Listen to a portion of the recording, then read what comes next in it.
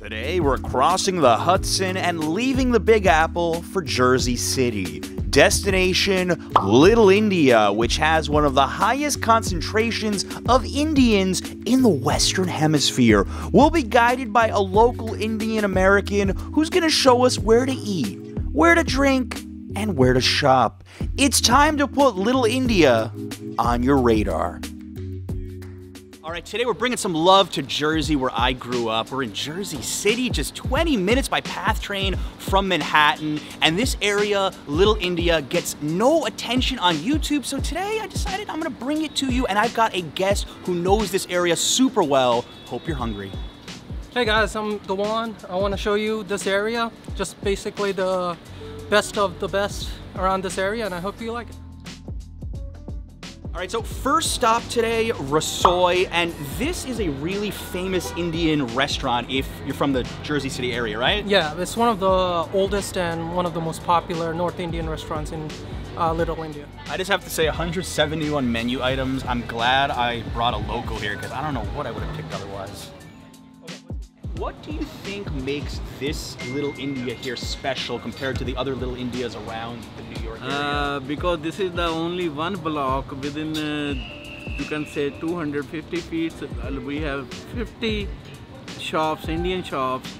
It's 20 restaurants, jewelry stores, and clothing stores. That's why they call Little India. You can see in this block how many people are traveling every day. A lot of people are coming.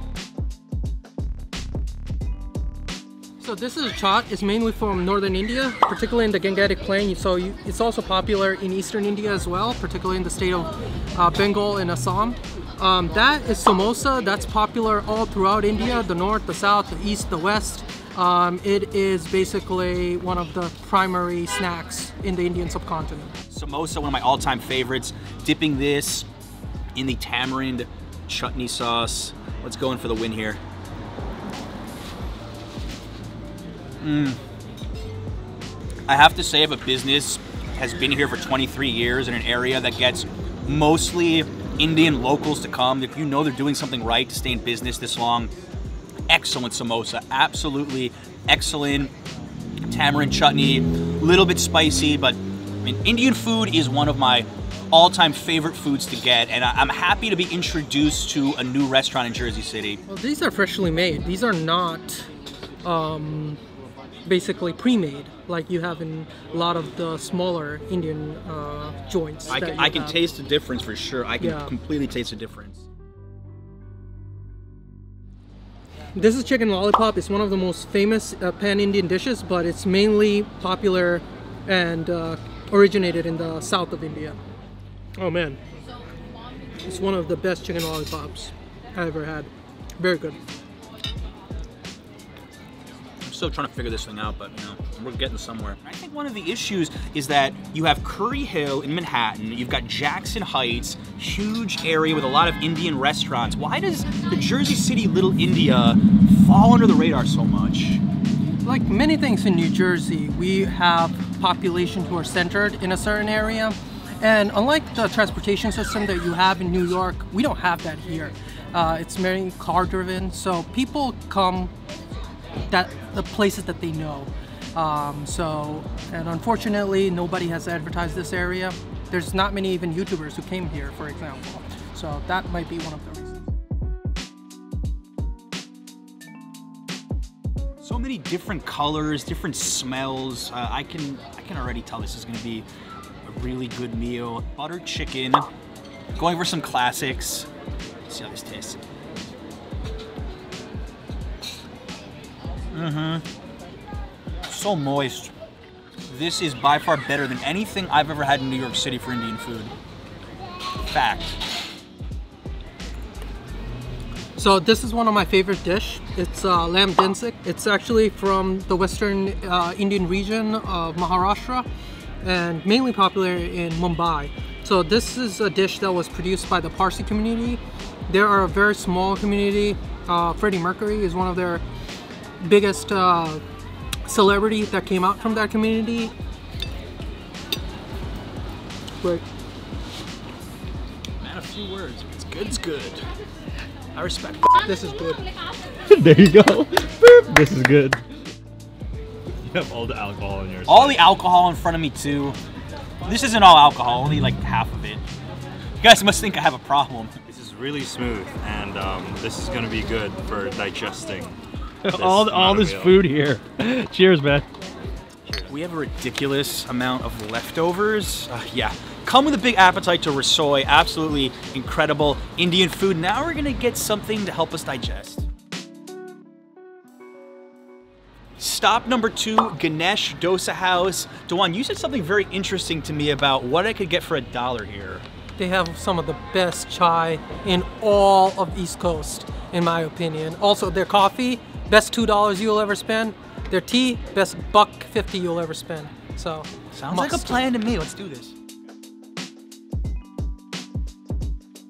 And unfortunately, we just have no appetite left. So I think coffee, chai is perfect for like this moment right now because we're freaking full. We are so full. And we're having something called Madras coffee. So it's only found in south of India and where coffee is grown. And this coffee is very different from what you have in most of Europe or America. Wow. And I'll be honest, like I wouldn't think of India and coffee. I just don't put those two together. But I'm I'm learning new things on this video. This is why I love making these videos, guys, because I love learning stuff like this. Actually, uh, South India is one of the largest coffee growers in the world. But again, India is such a huge country; it's the seventh largest country in the world. So people don't associate with it because tea, it's stretched from northeast to north to the south. So um, coffee, on the other hand, it's mainly grown in the south, but it's now getting popular it's all throughout India. And Madras coffee is my favorite coffee. So if you ever want to have Indian co- style coffee, try South Indian filtered coffee or Madras coffee. Guys, clearly I was a fan of this. I don't usually drink tea and coffee at the same time. It feels a little strange for me, but yes, big fan. Definitely visit for at least one or, or maybe both of these. This is prasad. During Indian celebrations, they usually provide this. Okay. So one shot. One shot, just right. take it all. I've never tried this before. It's really sweet.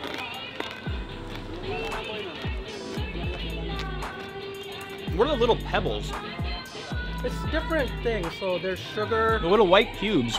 Oh, these are also condensed sugar. You know, like um, white sugar. Mm-hmm. These are white sugar condensed. Something interesting that you brought up to me was how this little India, while not really big, it's only one or two blocks. There's many different regions of India that are represented here.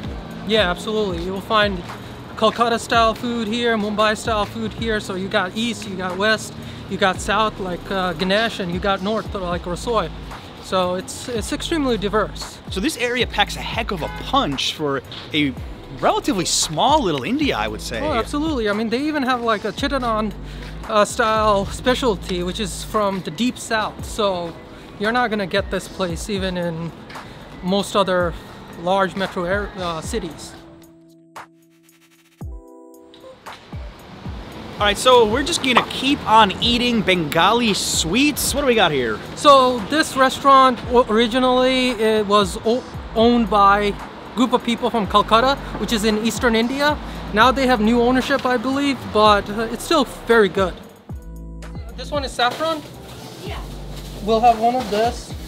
I don't recognize most of this candy, which is why I'm even more excited to try this stuff because I always like trying new things wherever I go. This this looks interesting. It doesn't uh, quite look like the candy that I'm used to. Give to other person. We whenever we meet somebody, we offer the fafda and jalebi to them. And this is like made freshly here, and it sells a lot. So whatever you see here, it's all made freshly just for this festival.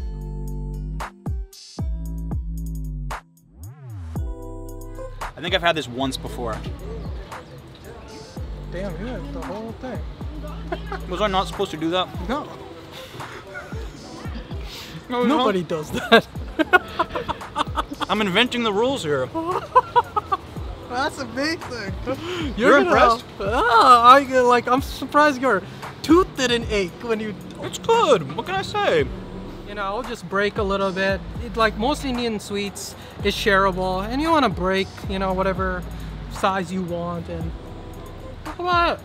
We're at the Aapka Bazaar, which is an Indian grocery store. Uh, I've walked by here before. I've actually never been inside. What what to expect here? This has mainly uh, Indian groceries, so from frozen to non-frozen. Especially there, I always go to get the Indian ice cream, kulfi. So you guys gotta try one. So much rice here. I think a lot of the Indian restaurants in the area must come here to stock up. Just a No, theory. no, no. Just This a is, this is not Indian This isn't for Indian restaurants. This is for us. This is just for Indian Dude, people. he's Filipino. He knows. we eat rice for breakfast, lunch, dinner, snacks, rice, everything.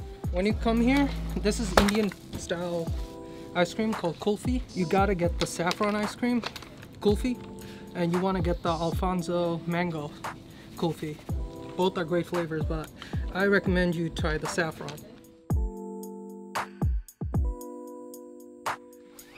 This is my favorite room. It's a secret bakery hidden in the back right this way. Every Indian's, this is the Oreo of India. Parle G. Everybody loves it. Every kid, doesn't matter if they're of Indian origin, UK, US, Dubai, Australia, doesn't matter. All right, guys, come with an empty stomach and an open mind. Little India in Jersey City, just 20 minutes by PATH train from Manhattan. What are you waiting for? Check out a really cool area that honestly just does not get enough exposure. Special thanks to Dewan for being an amazing guide and amazing Ben, of course, our camera guy.